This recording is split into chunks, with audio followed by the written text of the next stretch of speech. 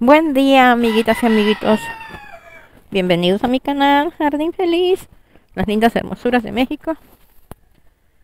Hoy les voy a enseñar otro abono más para las plantas. Vamos a ponerle este abono a las coronas de Cristo. Hoy te voy a mostrar puros colores rojos. Te voy a mostrar lo que son cuatro colores y cada una es muy diferente de la otra. Este es un color rojo muy fuerte, muy subido. El color, un rojo muy intenso. Nada más que la cámara no agarra muy bien el color, pero es un color más subido. Hermosísimo este color rojo. Este es otro color rojo. Esta es de semilla. Miren cómo se aprecia la flor. Luego, luego se ve diferente. Las hojas, las espinas, todo es muy diferente de cada plantita. Así que quiero que aprendas que cada planta es muy diferente de la otra. Se parecen un poco en la flor, pero en la hoja no, ni en las espinas.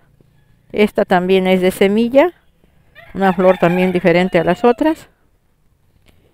Esta es la que tiene una raya verde, pero ahorita también no agarra bien su raya.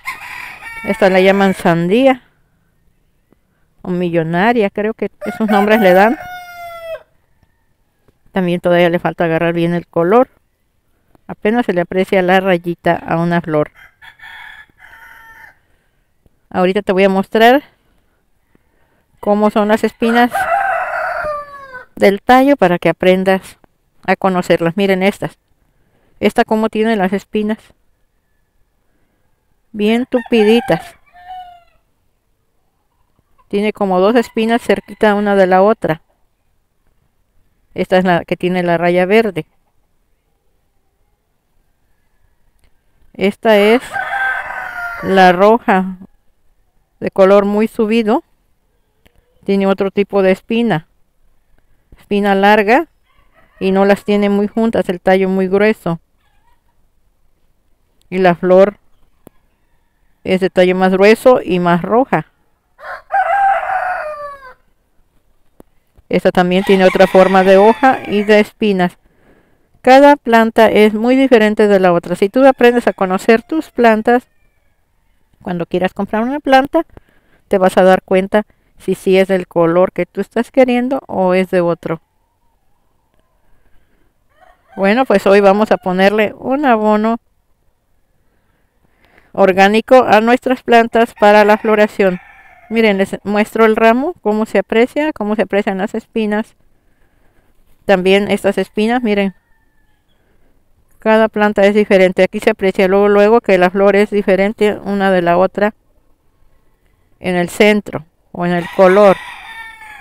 El centro es diferente cada flor. Los pétalos también, unas pueden ser más gruesas y otras más delgaditos. Miren, un tallo muy grueso, varios esquejes. Esta es de semilla, se aprecia diferente. Esta es la otra, la que les digo que tiene mucha espina y su ramo una parte de arriba. Hoy le vamos a poner un abono especialmente para que nos regalen muchísimas flores. Aquí te muestro la forma de la hoja de cada planta. Tienes las hojas muy tiernitas muy verdes. Y lo que queremos hoy es que nos dé flor. Aquí tenemos el abono. Es un abono de caballo. Estiércol de caballo ya bien seco.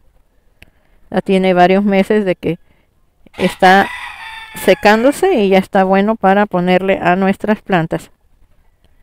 Si tú tienes modo de conseguir el abono de caballo, este es buenísimo para la floración. Miren, es como puro pedacito de zacate. Así es el abono de caballo o el estiércol. Por eso es un alimento buenísimo para las plantas. Así es como sale el abono de caballo. Como ellos comen los caballos puras hojas o maíz, pues es un rico abono para las plantas. Se lo puedes aplicar a cualquier planta, nada más con medida. A esta le vamos a poner un poco más porque ya son plantas grandes. Miren, quiero que lo aprecien como es. Ya es como unas hojas molidas. O sacate, aquí le vamos a poner a cada planta unas dos cucharaditas. Y así vamos a lograr que nuestras plantas nos regalen más flor.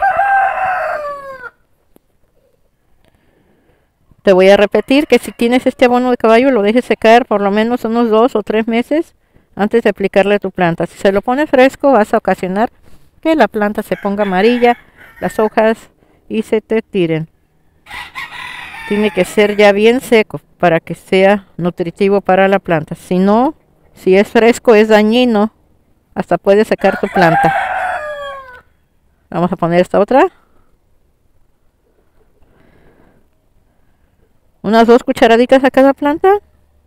Y con eso nuestras plantas van a dar sus ramos de flores más grandes. Se la vamos a poner por encima. ¿Dónde puedes conseguir este abono? Pues donde las personas tengan caballos. Te acercas a pedirles que si te regalan el estiércol de caballo, lo pones a secar. O si tú vives en un lugar donde sí hay caballos, pues es más fácil que lo consigas. Facilísimo de aplicar, rápido para ayudar a las plantas a dar flor. Miren, ahorita ya nomás le vamos a poner agua. Vamos a regar nuestras plantas. Y listo para dejarlas a pleno sol. Después le vamos a dar riego cuando miremos la tierra seca otra vez. No le vamos a dar riego antes hasta que esté la tierra seca. En unos tres días la tierra ya seca aquí. aquí hay mucho sol. Como tengo las macetas de un tamaño grandecito, por eso duro tres días en darle agua. Si tú tienes una tierra que tiene un buen drenaje y maceta más pequeña, pues tú sabes si le das el río cada tercer día o cada dos días. Eso depende del tamaño de la maceta y el sol que le dé a tus plantas. Pues como apreciaron, le pusimos el abono de caballo que se llama estiércol. Estiércol, popo de gallo. De gallo no, de caballo, me equivoqué. Disculpen. Abono de caballo. Estiércol. Bueno, si te gustó esta enseñanza, dale dedito arriba, me gusta, comparte con quien tú quieras los videos. También te invito a suscribirte si todavía no estás suscrito a mi canal o suscrita. Muchísimas gracias por tu presencia. Dios te bendiga, cuídate mucho. Aquí te dejo que mires el abono que le estamos aplicando. Miren, aquí se mira.